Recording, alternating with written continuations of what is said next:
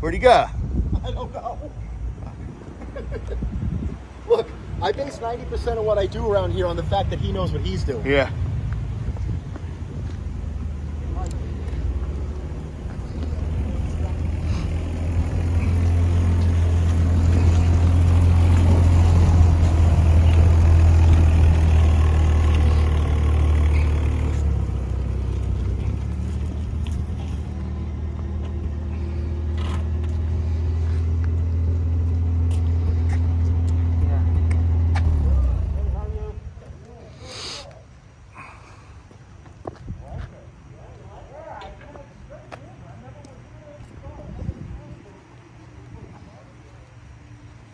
Guess we're gonna have to put fucking masks on.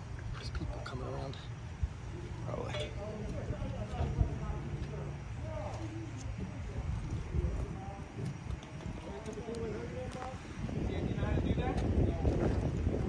How to do what?